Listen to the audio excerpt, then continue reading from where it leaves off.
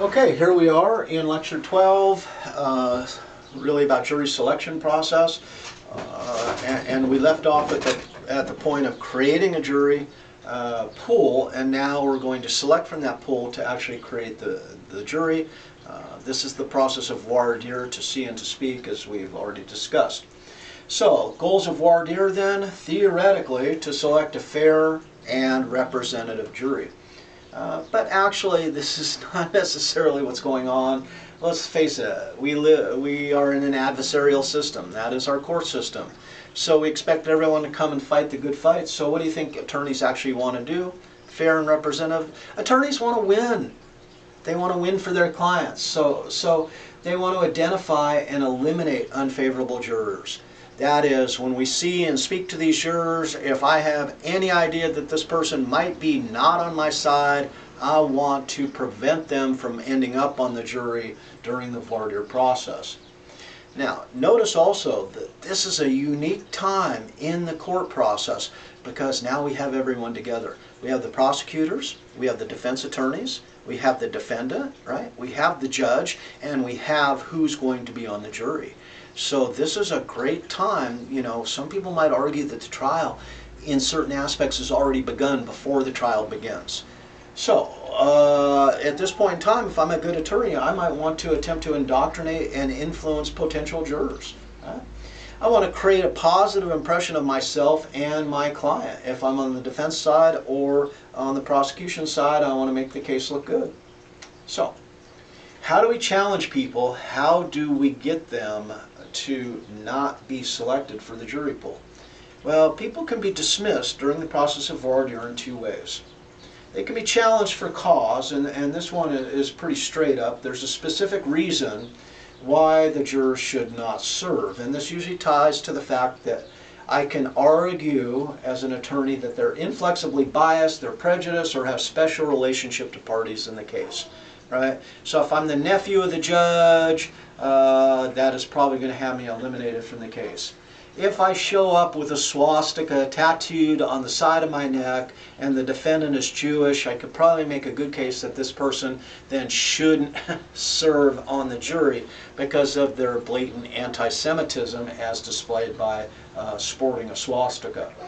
So this is for cause. The, the strange thing is this is unlimited. You have unlimited cause challenges as an attorney but they're very rare in practice. Uh, people don't necessarily display their biases to such an extent, uh, probably more along the lines of relationships, but e even then, uh, not so much.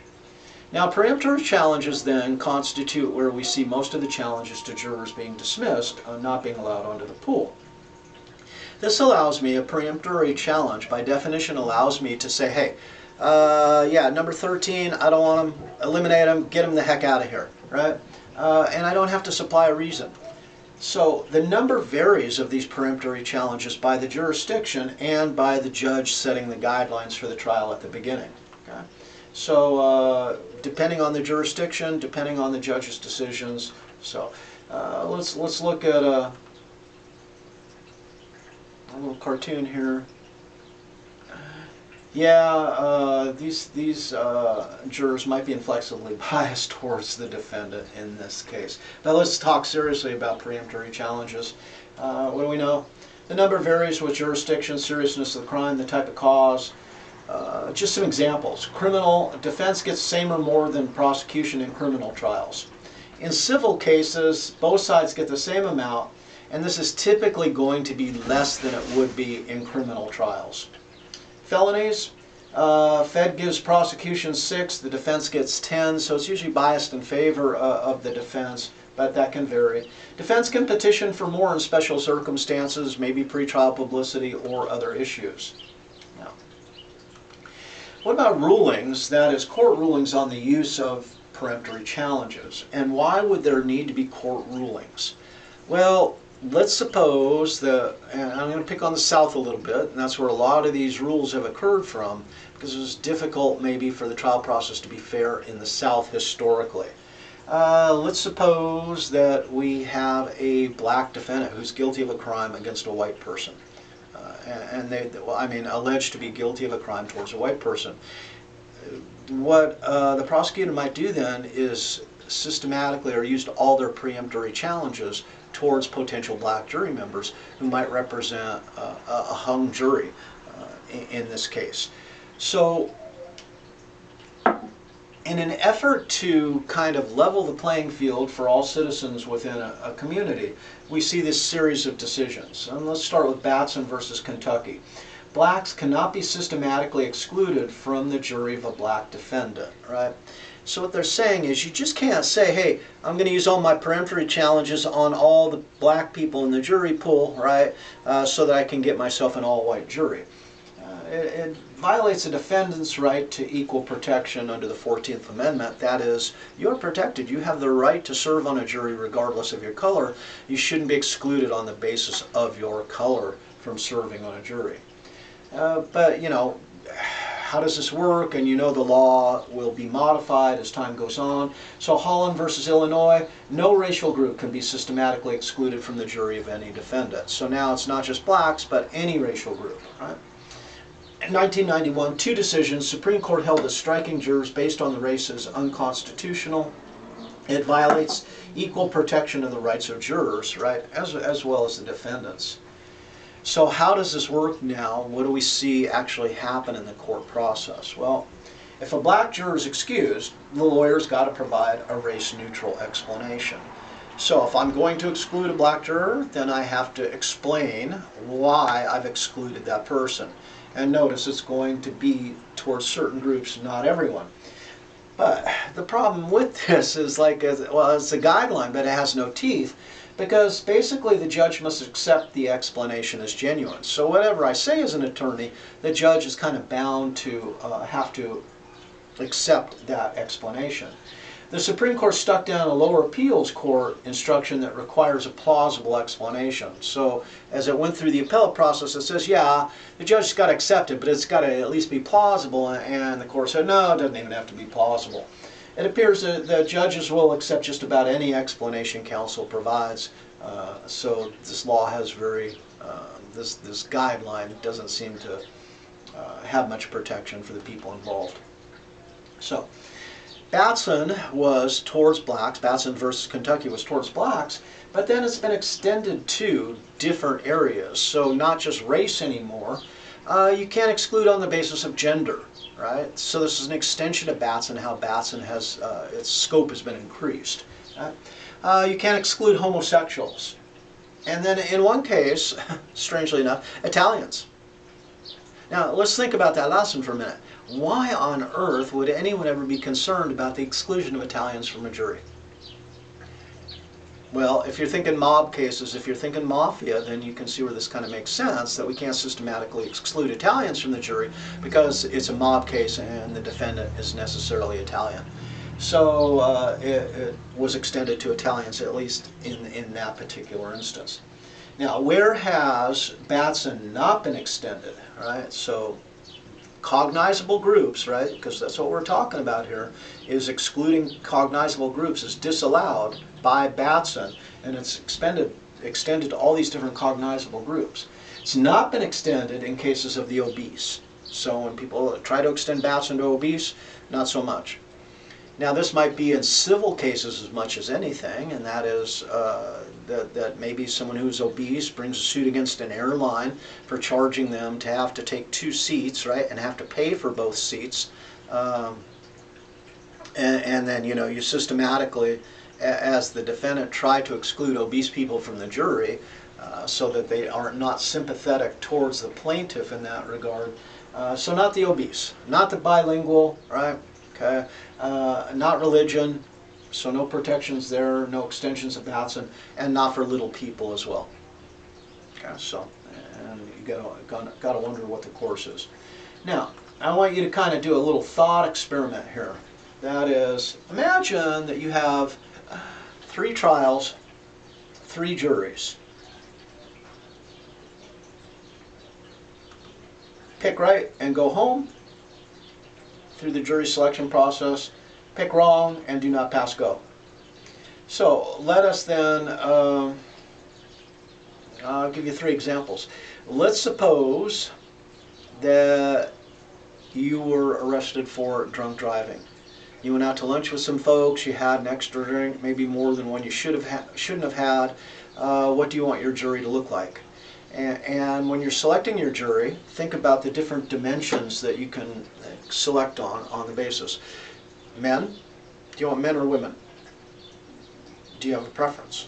What about ethnicity? And let's break it up. Let's let's go four uh, ethnicities. Let's go white, black, Hispanic, or Asian, right?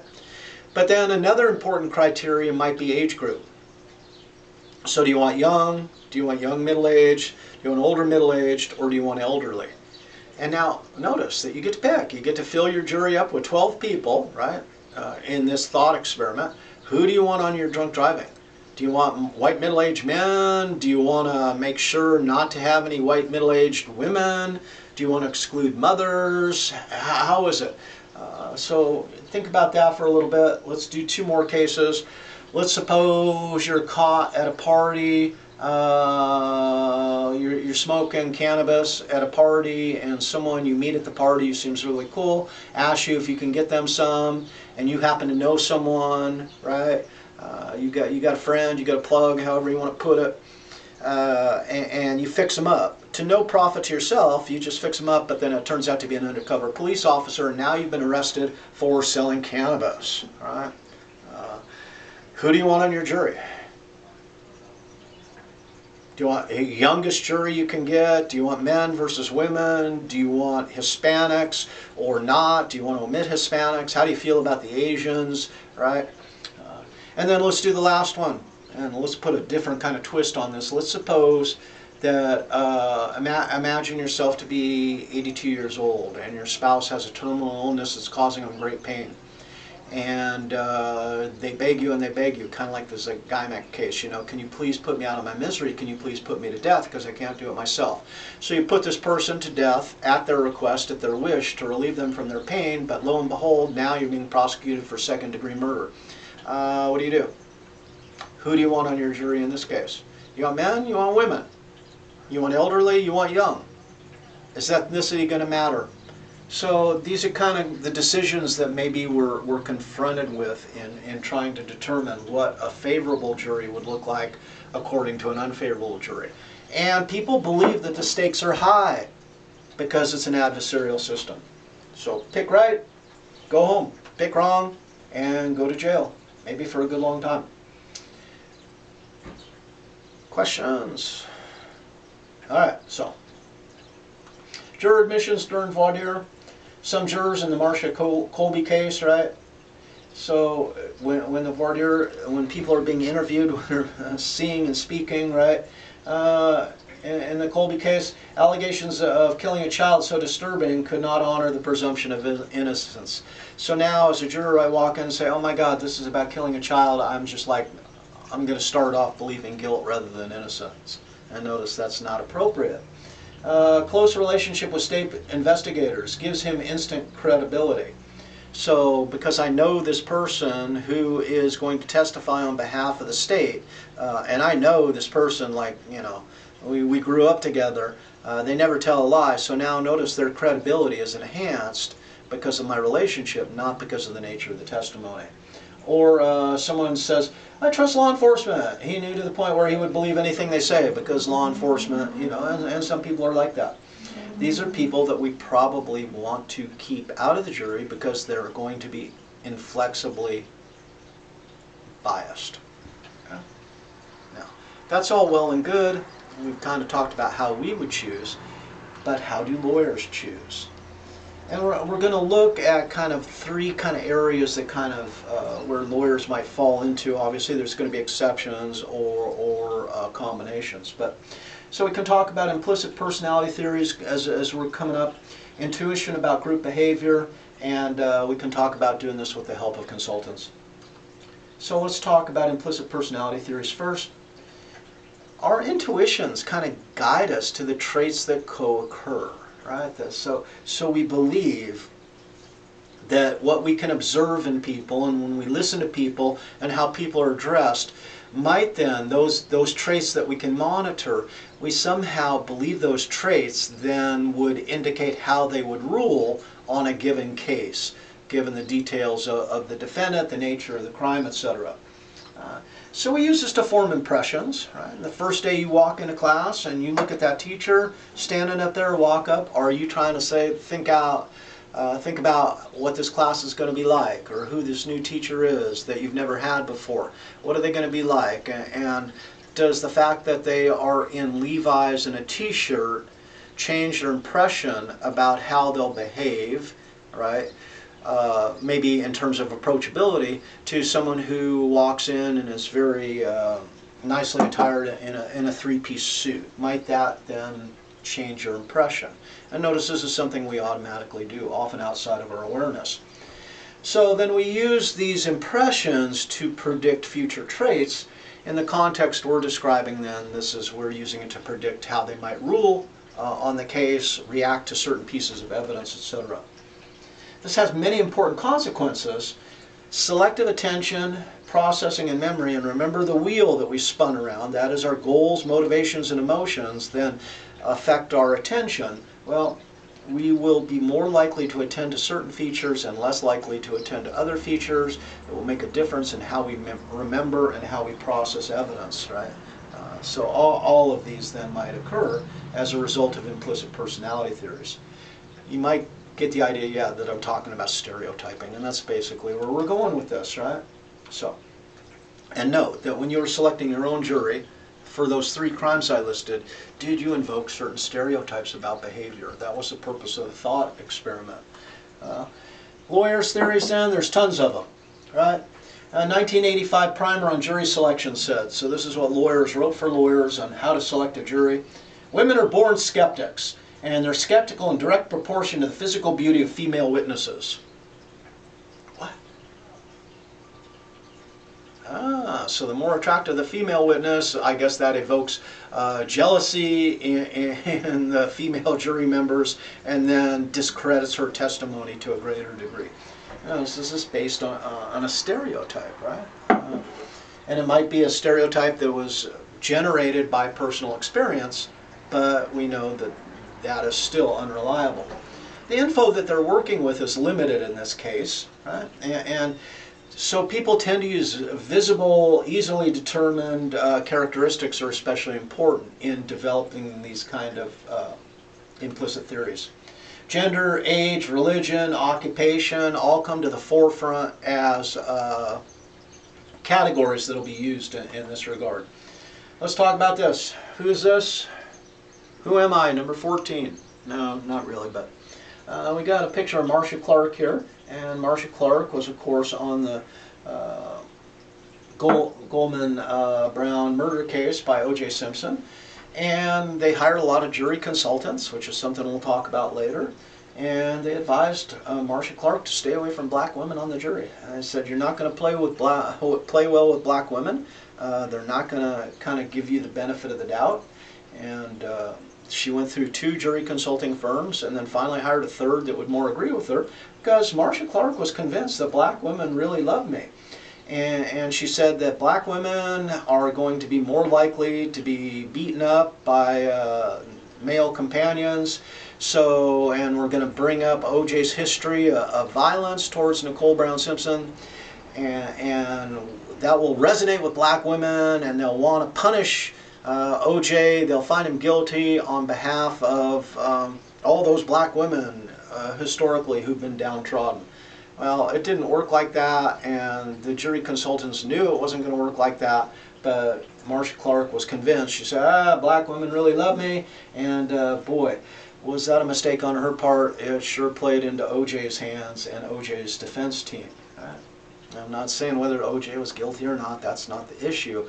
What I'm saying is Marcia Clark thought she knew better than the people she hired to do the job at the state's expense, fascinatingly enough, and it didn't work out on uh, didn't work out for her at all. So let's. Uh, I'm gonna. I want us to revisit Clarence Darrow here, and uh, you can see how a very brilliant attorney though succumbs to these stereotypes. Uh, so I, I, try to get a jury with little education but hu much human emotion, and that might be kind of the best best idea of the bunch. Uh, everything else here is kind of on, on, the level of dribble. Uh, the Irish are always best for the defense. I don't want a Scotchman for he has too little human feelings. I don't want a Scandinavian for he has too strong respect for law as law. In general, I don't want a religious person for he believes in sin and punishment. The defense should avoid rich men who, as high regard for the law as they make and use it. The smug and ultra respectable Finn, right? I guess those are all the people in California. Uh, they're the guardians of society and they believe the law is for them. I, so the utility obviously is uh, questionable in, in, this advice, right? And but notice it's stereotype laden, and that's what we keep getting back to. Now, I want to talk about something that's different now. It's not based uh, solely on rejecting people because of their basis, but this is actually looking for someone. Uh, that might have a powerful influence. And it's called the one verdict theory. Now, attorneys who subscribe to this idea, what are they saying? Well, the final jury decision is determined by the opinion of one strong-willed verbal jury So you have one person that you can count on. If you see this person, right, who who is is fits these qualities, is strong-willed, they talk well, right, then get that person on the jury. If you know they're on your side, they will then shape the jury's decision making. They will move the jury to the idea. This person is the key juror, right? High status and power in the real world, most likely. Uh, Marcus et al. said the, the key jurors intend to be male, extroverts, tall people, and you should watch the show 12 Angry Men if you got the time while we're under pandemic. I would check it out. This is exactly who the key juror was, was uh, Henry Fonda, an architect. Okay, let's shut down uh, part two here and we'll come back for part three.